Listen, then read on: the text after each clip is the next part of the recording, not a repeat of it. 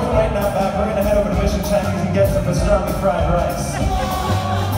Can I pick you up anything? You don't have a 20 at the bar, do you?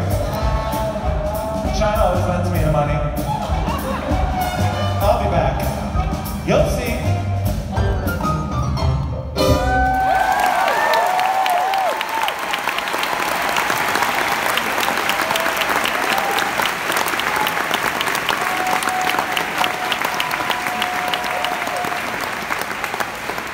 the Beacon Theater, this is Pink Martini. I'm Ari Shapiro.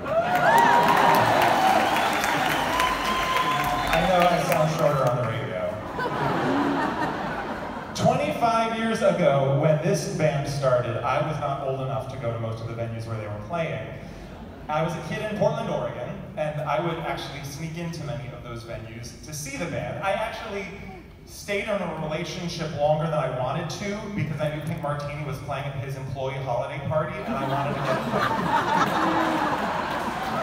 it was a called bakery holiday party circa 1996, 7.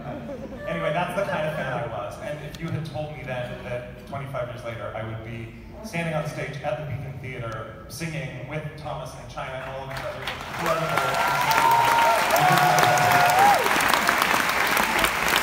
that was a song that we recorded 10 years ago. I've recorded one or two songs on the last four albums since then.